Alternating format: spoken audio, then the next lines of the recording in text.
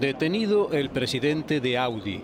La policía alemana ha detenido al presidente del fabricante automovilístico de la gama Audi, Rupert Stadler.